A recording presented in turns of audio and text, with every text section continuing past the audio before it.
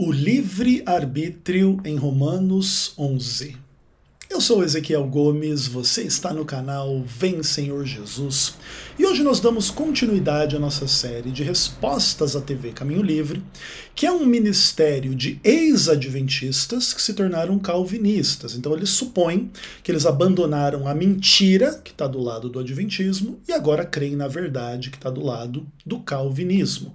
E em função destas questões, a gente está discutindo né, as longas questões a respeito do calvinismo, do arminianismo, uma vez que a Igreja Adventista do Sétimo Dia é uma igreja arminiana wesleyana, tá bom? Então a gente está pensando profundamente nessa série a respeito de várias questões aí sobre as doutrinas calvinistas e tal, à luz dos desafios né, da TV Caminho Livre em relação a essa questão. E nesse momento da série a gente está falando um pouco sobre a doutrina do livre-arbítrio sempre à luz um pouco da ideia da depravação total, que faz com que os calvinistas concluam, ou muitos calvinistas pelo menos concluam, que livre-arbítrio é heresia, é um engano satânico e blá blá blá e etc.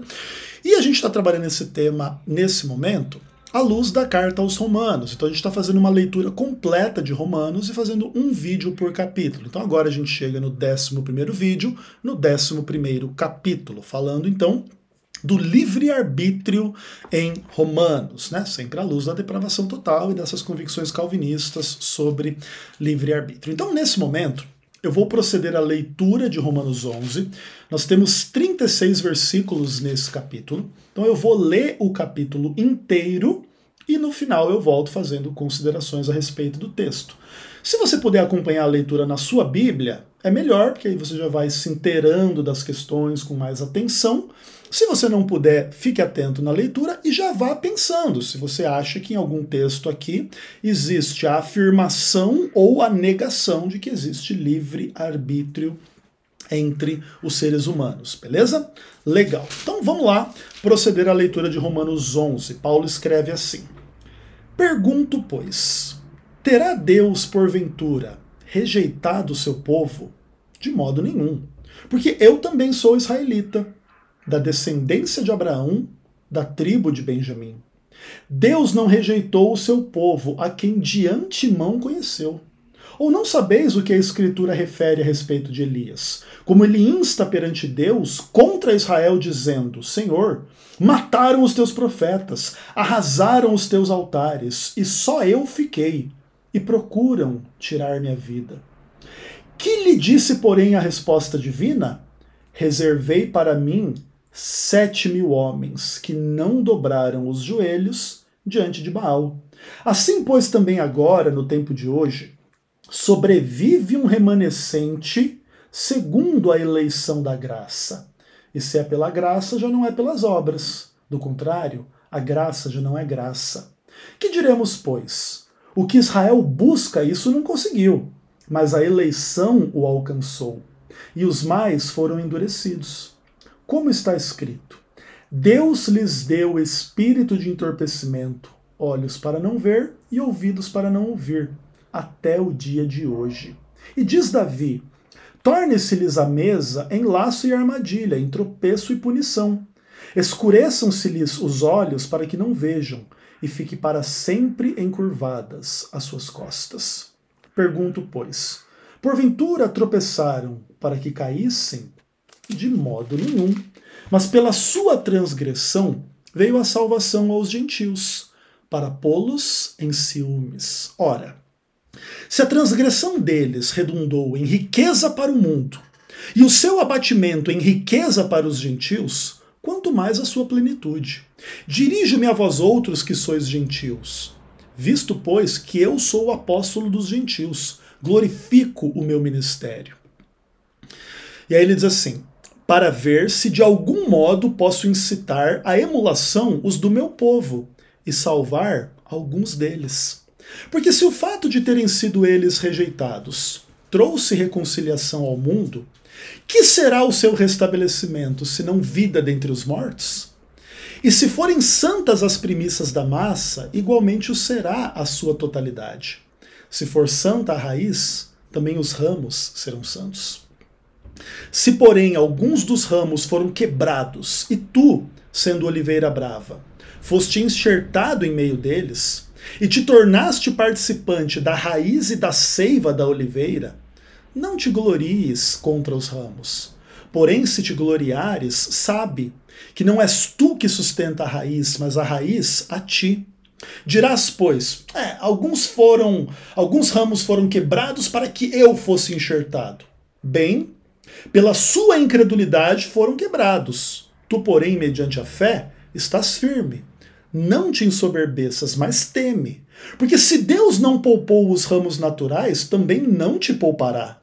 Considerai, pois, a bondade e a severidade de Deus.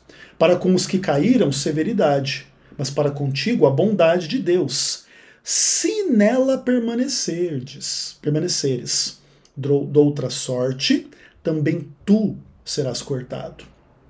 Eles também, se não permanecerem na incredulidade, serão enxertados, pois Deus é poderoso para os enxertar de novo.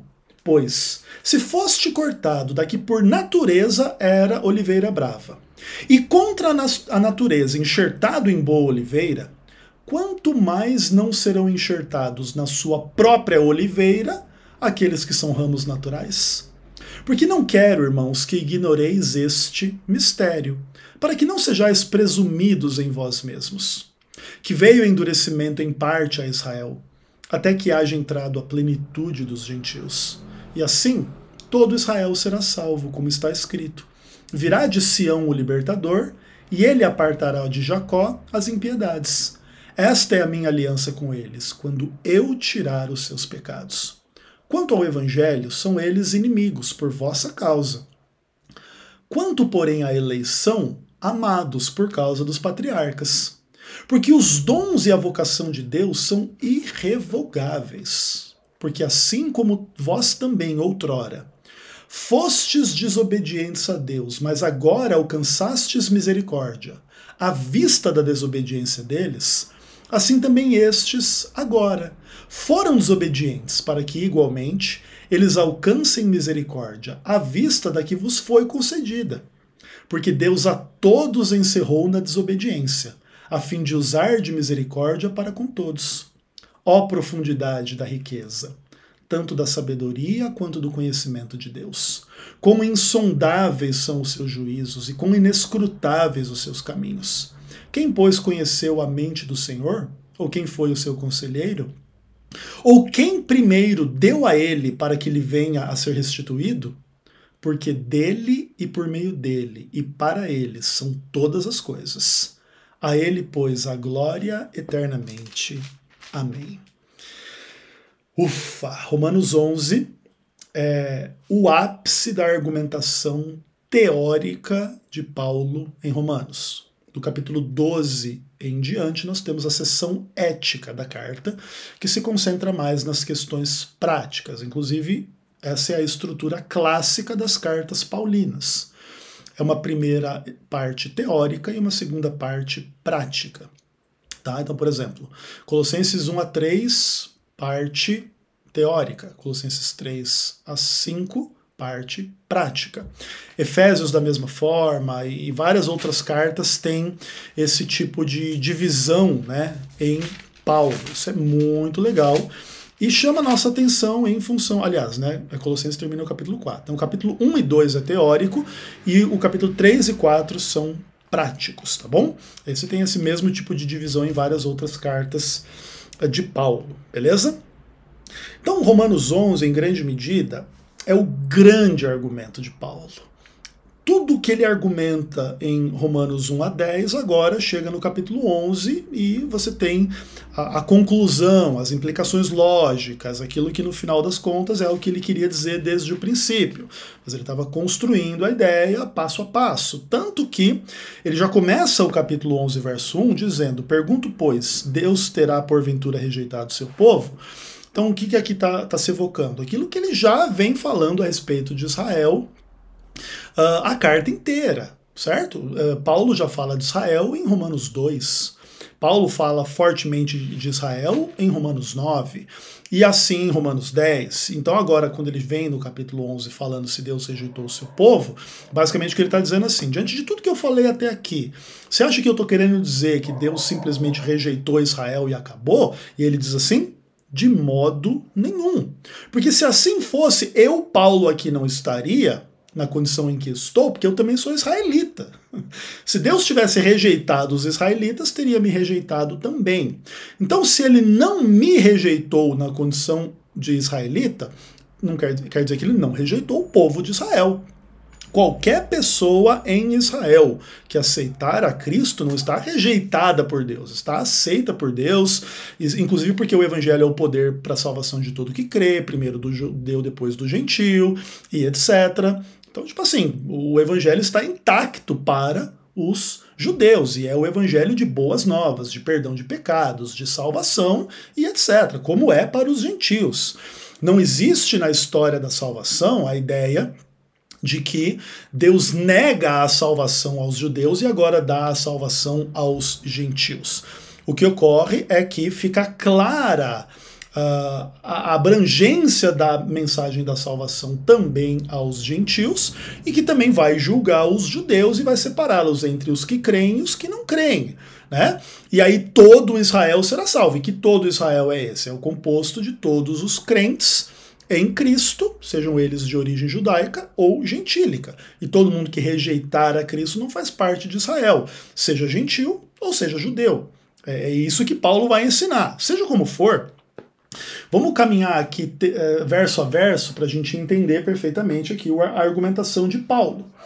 E, e, e, Paulo, Paulo diz assim, que Deus não rejeitou Israel, tanto que ele, israelita, não está rejeitado por Deus, está firme e forte em Cristo e etc. E aí ele diz assim, que dessa experiência particular dele, ele, ele deduz que Deus não rejeitou o seu povo, a quem de antemão conheceu. Por quê? Porque Deus trata todas as coisas como quem conhece todas as coisas de antemão.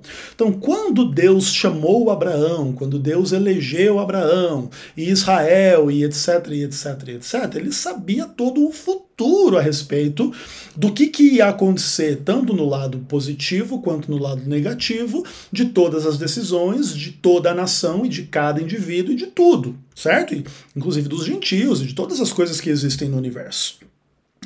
E, e, essa percepção da presciência de Deus, ela coloca Deus acima da gente na hora de lidar com as questões. Tanto que o profeta Elias comete um baita de um erro na avaliação da relação entre Deus e Israel.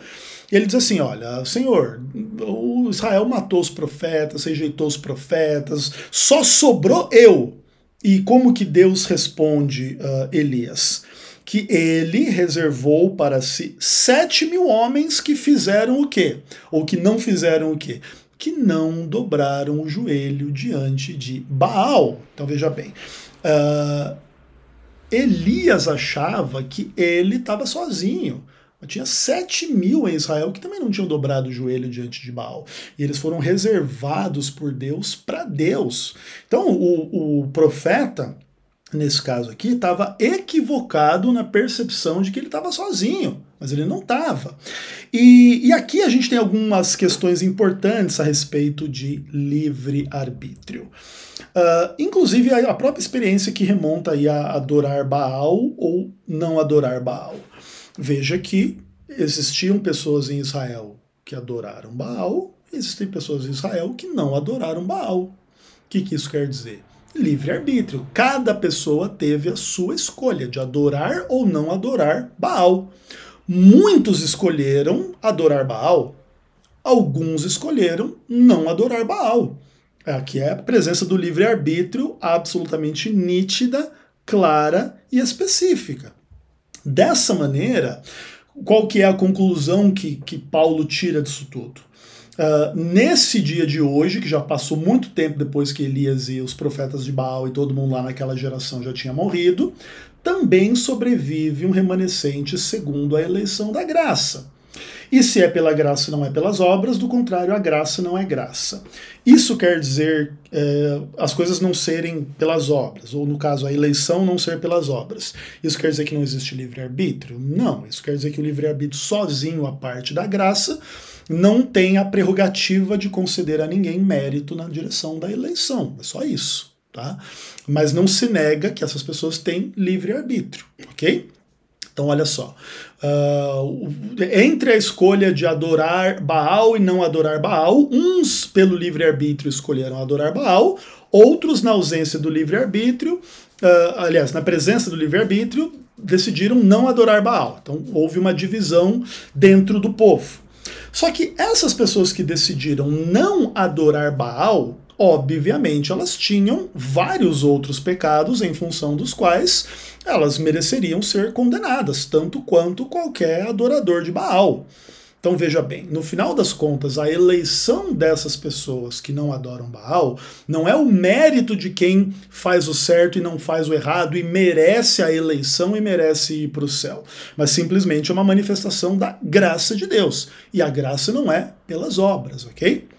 As obras revelam algo da nossa percepção a respeito da graça, como que a gente é, se coloca na influência da graça de Deus para aceitar ou não aceitar o pecado, a lei de Deus, a vontade de Deus, a vontade do diabo, os caminhos naturais das pessoas ou o caminho da minoria.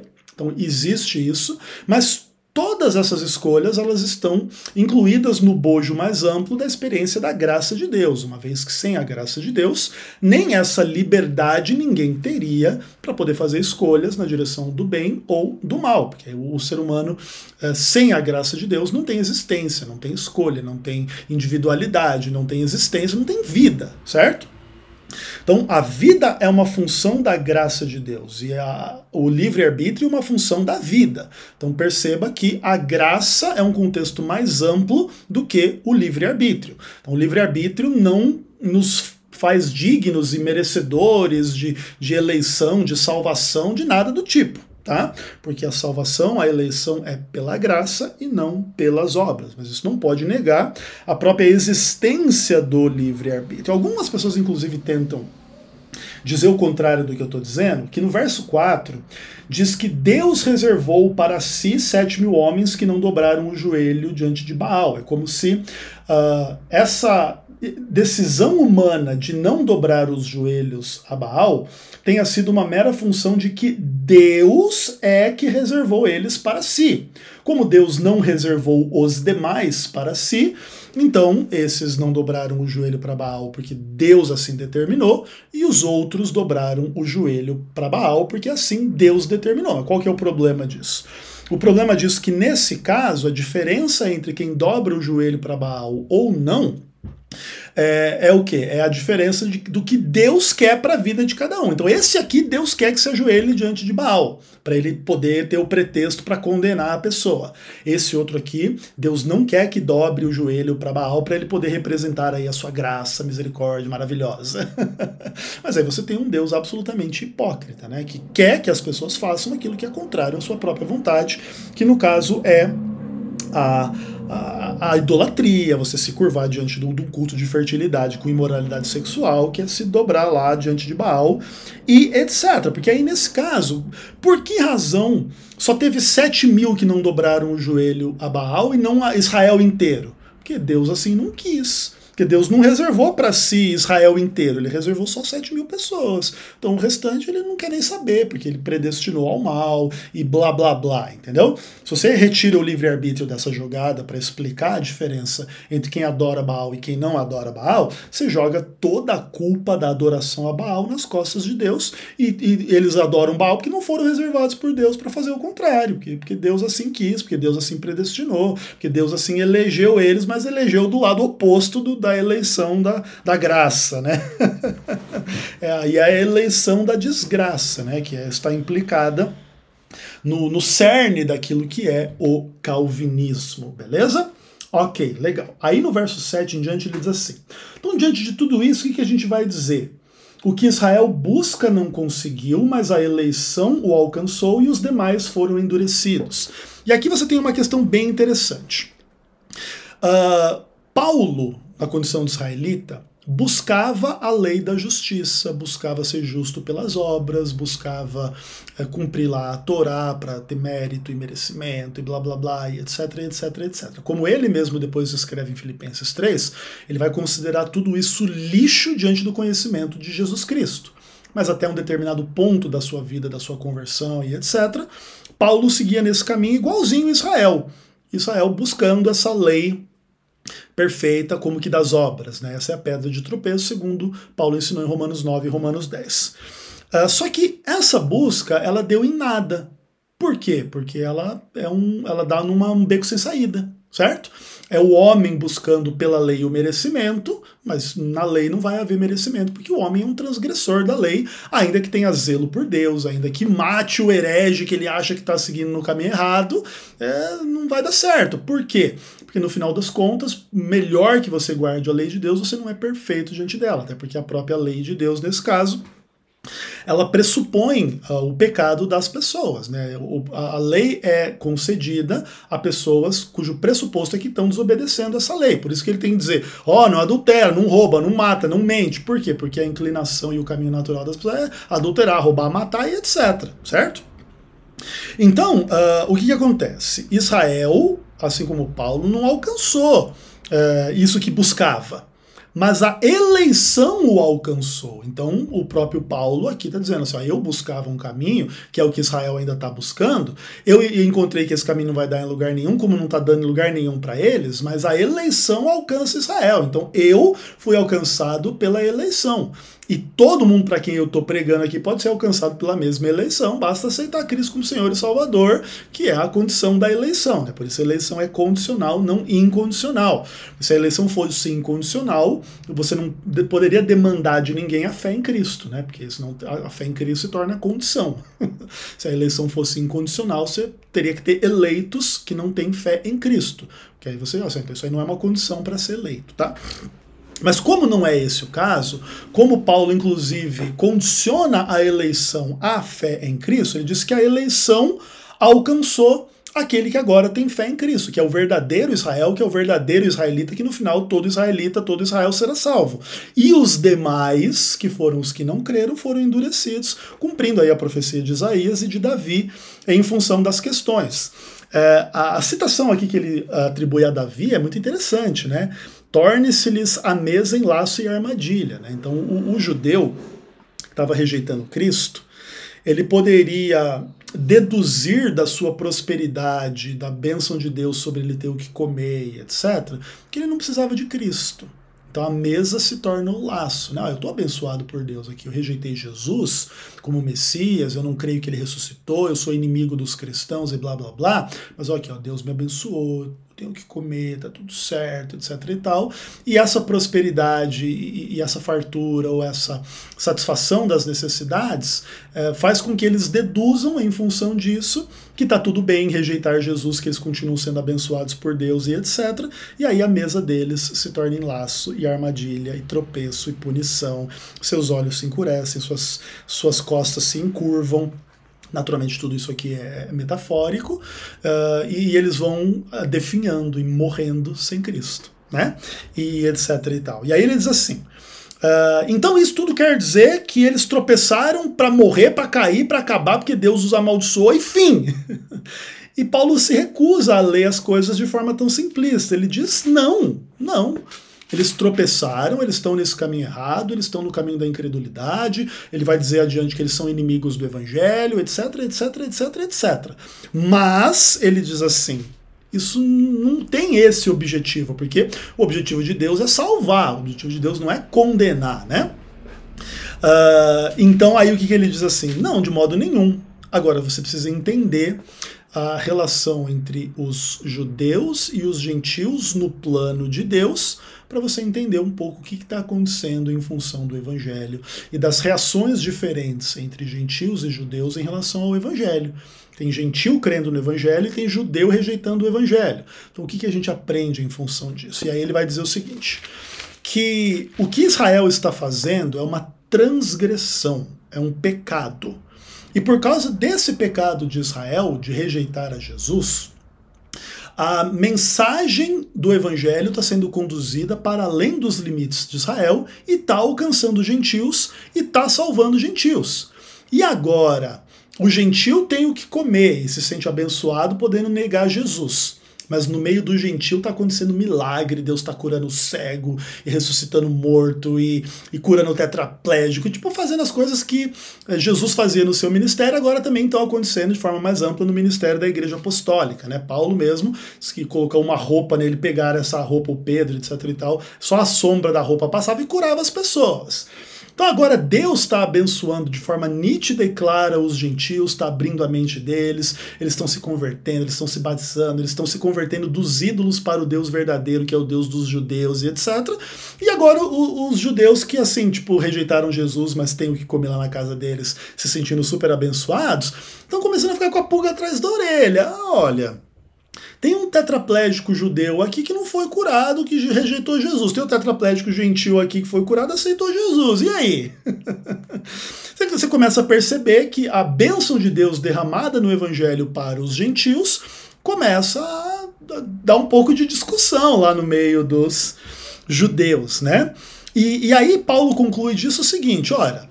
Se a transgressão dos judeus redundou no evangelho ir para os gentios e abençoar os gentios e etc e tal. Ou seja, o, fato de Israel estar tá ficando cada vez mais abatido, encurvado, enganado, focado em bobagem, etc redundou numa riqueza para os gentios, em bênção para os gentios, e eles assim, eu me dirijo aos gentios porque eu glorifico meu ministério, eu sou o apóstolo dos gentios e etc e tal.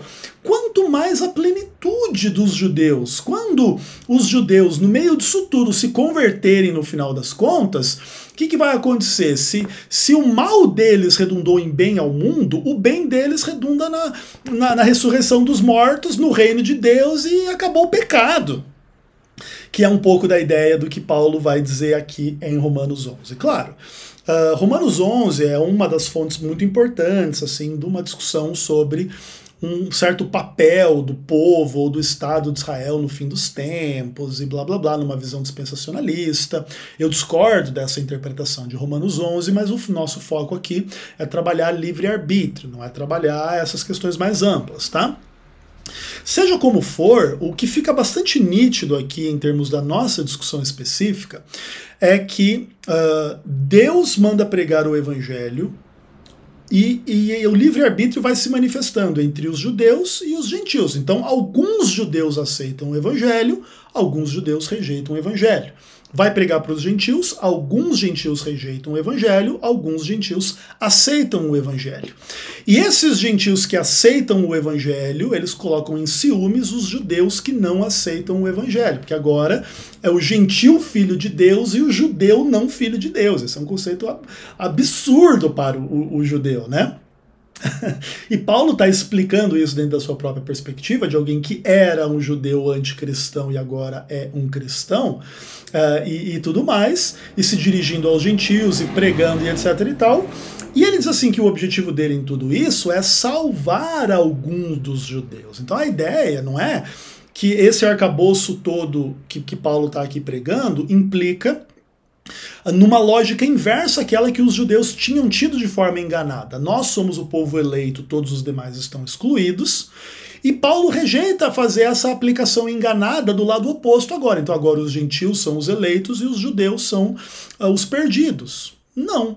Qualquer um que quer crer em Cristo, judeu ou gentil, não está perdido Qualquer um que rejeitar Cristo, seja judeu ou gentil, está perdido. É, é, isso que ele está ensinando. E ele está ensinando tudo isso, inclusive com o objetivo de que um judeu incrédulo, ou de que o máximo de judeus incrédulos possíveis nesse momento, venham a crer em Jesus e serem salvos. Por isso a ideia não é que isso aqui implica que Deus predestinou agora os gentios para a salvação e não os judeus, e acabou o caminho do judeu, e fim. Não, é o contrário, né? É, Deus quer salvar todos os judeus, mas obviamente ele coloca a condição da fé em Cristo. E o gentil que está cumprindo essa condição está sendo salvo e colocando o judeu em ciúmes e perplexidade e, e, e trazendo esses conceitos agora que estão bagunçando um pouco com a identidade de, de quem é o verdadeiro Israel, né? Que inclusive é algo que Paulo já preparou em termos argumentativos lá no começo de Romanos, né? Nem todo, inclusive acho que Romanos 9, Romanos 10 também ele fala, né? Nem todo de Israel é de fato israelita, porque a descendência de Abraão será chamada em Isaac. Também você tem Ismael que não é contado como descendência de Abraão. Então, ou seja, você tem gente que é da descendência de Abraão que não é contado como filho de Abraão, que não é verdadeiramente israelita. Por quê? Porque não está tendo a fé de Abraão, não está aceitando aquele cujo dia Abraão anteviu, que é o próprio Cristo, tá? Então as coisas vão começando a ficar bastante claras aqui, ainda que a argumentação de Paulo seja um pouco complexa na, na, mente de alguns, seja um pouco difícil, etc. e tal. O que fica absolutamente claro aqui é que o livre-arbítrio está absolutamente intacto nessa situação como um todo, à medida que o evangelho vai sendo pregado e uns vão aceitando outros vão rejeitando, tá bom? E Paulo está ensinando tudo isso aqui para ver se pega um desses aí que está, ou alguns desses que estão rejeitando e traz eles para o caminho da fé, tá bom? Aí ele fala assim: uh, o fato deles terem sido rejeitados trouxe reconciliação ao mundo, o seu restabelecimento será a ressurreição dos mortos, né? Então, quando todo Israel verdadeiro, sincero, que ama a Deus, se converter, etc e tal, Deus vai instaurar o seu reino e a ressurreição dos mortos. Então, quando o número de Israel estiver completo, Jesus Cristo volta, né? E aí, nesse caso, o número de Israel não quer dizer a nação israelita judaica, quer dizer o número dos crentes em Cristo. Quando no final da história o número dos crentes se completar aqueles que Deus sabia de antemão que iriam aceitar, e etc, etc, etc. E os demais vão adorar a besta, idolatrar e perseguir o povo de Deus, querer matar o povo de Deus, etc. Quando isso acontecer, completa-se o número dos salvos, caem as últimas pragas e Jesus Cristo volta, tá bom? Para dar um quesinho aí de apocalipse para vocês. No meio dessa história como um todo, que é o que Paulo está fazendo referência, mas naturalmente nos seus próprios termos aqui em Romanos 11. Aí ele fala assim: uh, se as primícias forem santas, igualmente será a massa na totalidade. Se a raiz for santa, os ramos também serão santos. E, e, aqui é uma questão até um pouco complicada, uma vez que no verso seguinte ele vai aparentemente uh, rejeitar essa própria lógica do verso 16. Por quê? Porque alguns dos ramos foram quebrados. Tinha a oliveira brava, tinha a oliveira correta, mas alguém da oliveira brava foi enxertado na oliveira correta, e alguém da oliveira correta foi quebrado e lançado fora da oliveira correta. Então, veja bem, uh, o problema que está acometendo Israel e a bênção que está vindo aos gentios precisa ser entendida em função da origem das coisas. Deus deu uma mensagem a Abraão, que era santa, e que se você nela crê, vai santificar toda a massa, to toda a comunidade. Se você tiver a fé de Abraão, que é aquela que desde o início Deus propôs, uh, que inclusive tem que ver com a fé em Cristo, que é o descendente de Abraão, você vai santificar a massa completa. Ok? Uh, então, se for santa a raiz, os ramos também serão santos. Porém, o que, que acontece? Algumas pessoas que nascem nessa família de Abraão, elas começam a se desconectar dessa fé primordial de Abraão. E agora elas rejeitam o Cristo no qual Abraão creu. E aí você tem o problema. E qual que é o problema? Esses ramos, então, eles são quebrados. Não é porque ele está exatamente negando o que ele disse anteriormente, mas o que ele está dizendo é que esses ramos agora cortam a si mesmos da nutrição daquilo que é a raiz da massa, né, a raiz da oliveira e, e etc e tal.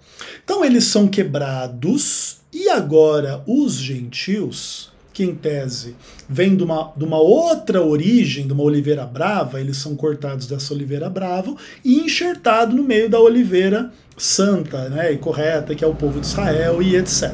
Isso aqui tem implicações gigantescas para a compreensão da identidade do povo cristão.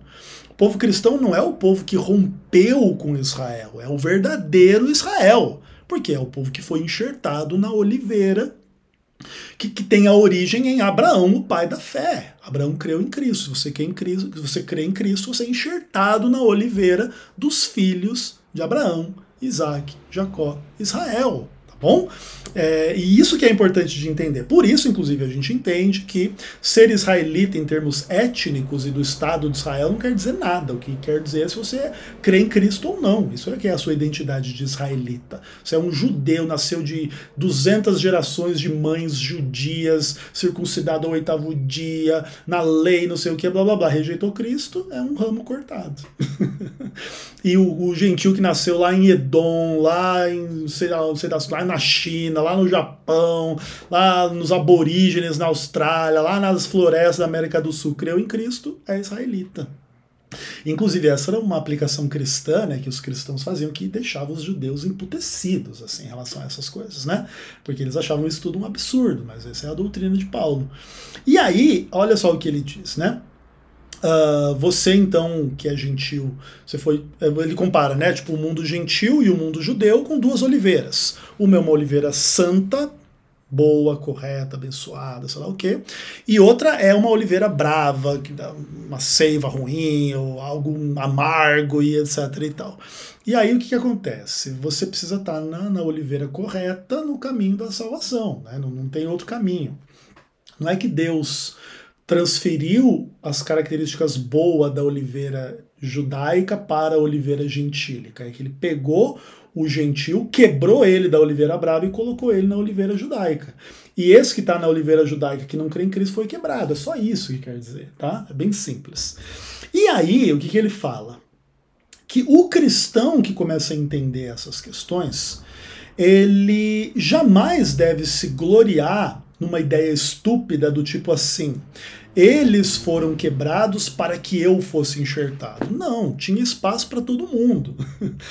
Eles não foram quebrados para você ser enxertado. Você foi enxertado porque você creu e eles foram quebrados porque eles não creram.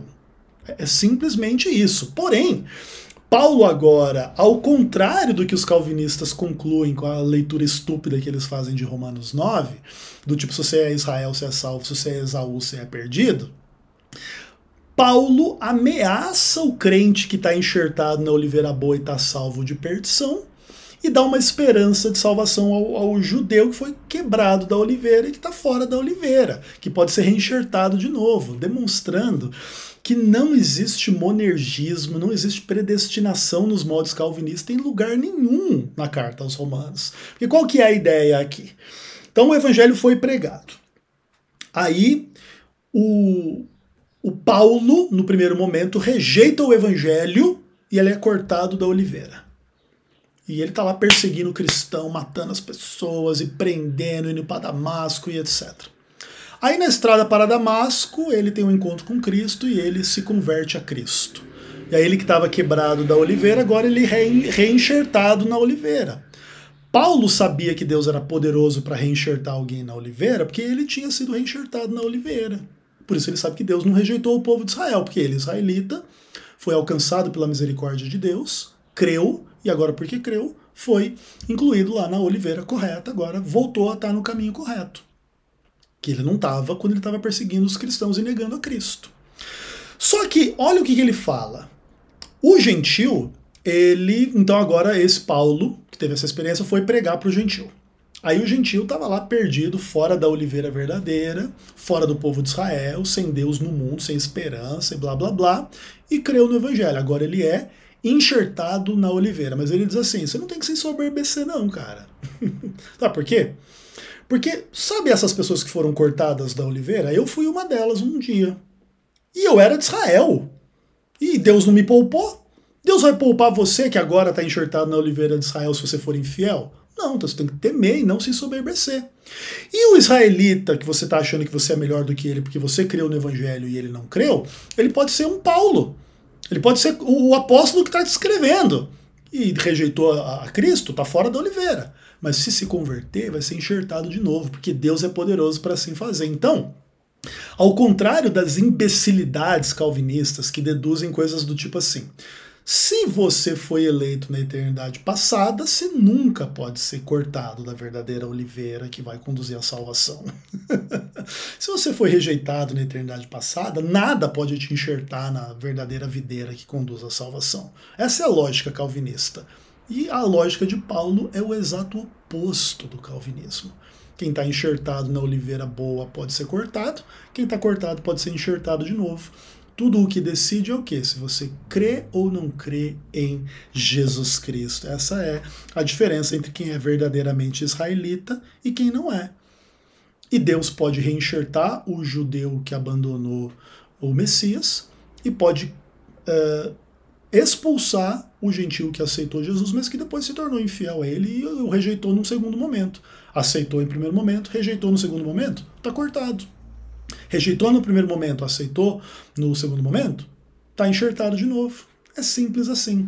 E aí, uma coisa interessante, que existem umas piadinhas assim no mundo calvinista sobre a, a, teologia arminiana, sobre ganhar e perder a salvação o tempo todo, né? Que eles falam assim, né?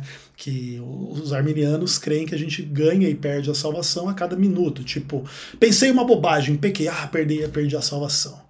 Ai, Senhor, por favor, me perdoa por essa, bo essa bobagem que eu pensei. Ah, agora estou salvo de novo. Como se a gente ganhasse e perdesse a salvação o tempo todo.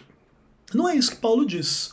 O que Paulo aqui está dizendo é uma coisa muito mais essencial do que meramente tropeçar e pecar, e, e, como se você perdesse a salvação sempre que peca e ganhasse a salvação sempre que faz uma oração pedindo perdão pelos seus pecados.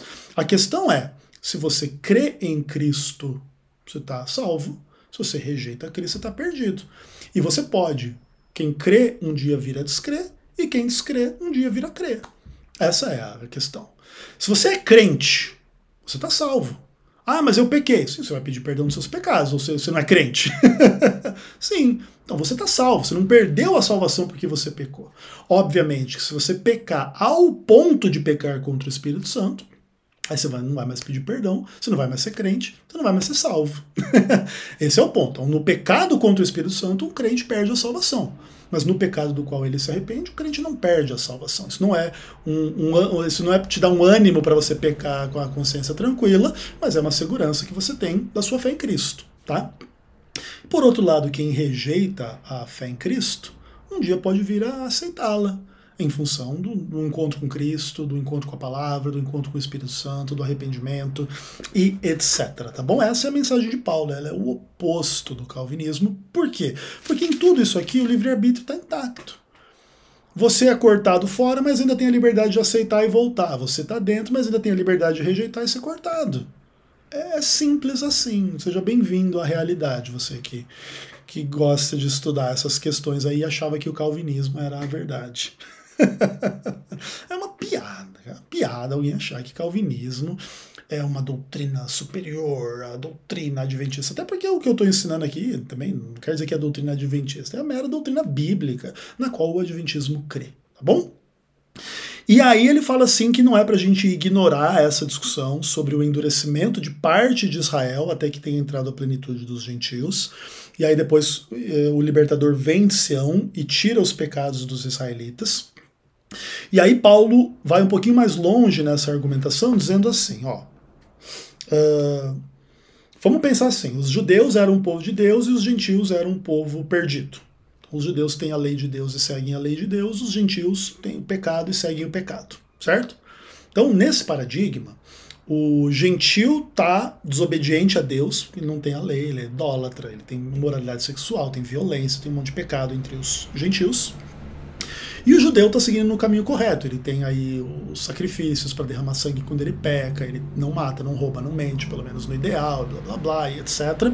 Beleza. Então o gentil está no caminho errado, o judeu está no caminho certo. O gentil desobedece a Deus, o gentil obedece a Deus. Quando o evangelho vem e revela a verdadeira natureza das coisas, que a gente é salvo pelo sacrifício de Cristo e não de animais, Aí o, o gentil ele começa a dizer assim: ah, então eu fui enganado, então eu acreditava numa religião vã não, não, a minha religião é verdadeira e esse Cristo que é errado, esse cristianismo que está errado e está ruim, e eu rejeito esse Cristo, e eu não quero saber dele, isso é tudo fantasia, eu quero é matar esses cristãos, tipo Paulo fez, entendeu? e aí eles se tornam os desobedientes da história. E os gentios começam a ouvir a mensagem da salvação e ver as curas, os milagres que o evangelho faz e não sei o que, e a doutrina do evangelho e começam a se converter. e agora quem são os obedientes? É os gentios que creem e obedecem o evangelho e os desobedientes são os judeus que rejeitam o evangelho. E o que, que Paulo diz em função disso? Que isso quer dizer algumas coisas importantes. que Deus encerrou todos na desobediência para ter misericórdia de todos. Então, gentios e judeus são pecadores e precisam do evangelho. E assim como os gentios eram desobedientes e foram alcançados pela graça de Deus, não é para a gente concluir que os judeus, porque agora eles estão rejeitando o evangelho, eles não podem ser alcançados pela graça de Deus. Certo? O objetivo de Deus é ter misericórdia de todos e do máximo possível. Claro, no nível individual, Deus sabe quem, quem vai aceitar, quem vai rejeitar, quem vai aceitar na primeira instância e depois rejeitar, ou quem vai rejeitar na primeira instância e depois aceitar na instância definitiva. Deus sabe todas essas dinâmicas porque ele conhece as coisas de antemão, ele conhece a realidade, ele é onisciente e etc. Mas nesse esquema todo que Deus conduziu a história humana após a queda, ele conduziu tudo com vistas à salvação do máximo de pessoas possível. Porque todos são pecadores e todos são objetos da sua graça e do seu amor. O que não seria verdade se o calvinismo fosse a realidade. Aí Deus ama só o eleito, Deus quer a salvação só do eleito, Jesus morre só pelo eleito, o eleito jamais poderia ser cortado da oliveira, e, blá blá blá blá blá blá blá blá blá. E, e, e, o perdido nunca poderia ser enxertado na boa oliveira, nunca poderia se arrepender, nunca poderia crer, e o evangelho seria a maior farsa da face da terra ou a pregação do evangelho seria a maior farsa da face da terra. Você sair pregando para o mundo que Jesus morreu pelas pessoas, e na verdade Jesus não morreu pelas pessoas, morreu apenas por um grupinho no meio das pessoas que ninguém sabe quem é. E aí você prega lá para 10 mil pessoas. Jesus te ama, mas na verdade não. Jesus talvez te ame se você for um eleito, senão ele te odeia e não quer saber de você. E parabéns a todos os envolvidos aí que creem nessa, nessa porcaria que é o calvinismo, tá bom? E diante de tudo que Paulo escreveu, de Romanos 1, verso 1 até 11:32, ele solta assim aquele louvor que é um dos mais bonitos da Bíblia, né? Ó oh, profundidade da riqueza, da sabedoria e do conhecimento de Deus, quão insondáveis são os seus juízos, quão inescrutáveis os teus caminhos. Quem conheceu a mente do Senhor? Quem, quem aconselhou Deus a fazer as coisas dessa forma? Quem deu alguma coisa para ele para que Deus tenha que devolver? Ninguém. Por quê? Porque por ele, por meio dele, para ele são todas as coisas. A ele, pois, a glória eternamente. Amém. Né?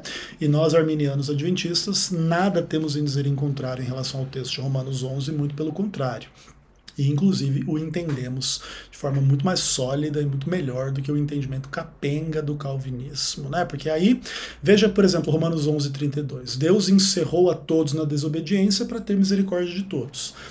A leitura calvinista desse texto é que todos no primeiro na primeira ocorrência é universal e todos na segunda ocorrência não é universal. Mas veja, é o mesmo grupo nas duas ocorrências que está em mente encerrou todos na desobediência para ter misericórdia de todos. Não é do tipo encerrou todos na desobediência para ter misericórdia de alguns, né? Que é exatamente a leitura calvinista.